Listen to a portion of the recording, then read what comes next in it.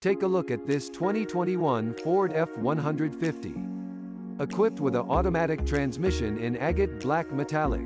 This car comes with some great features including Android Auto, child safety locks, anti-lock brakes, Apple CarPlay and more. Come in and check it out today.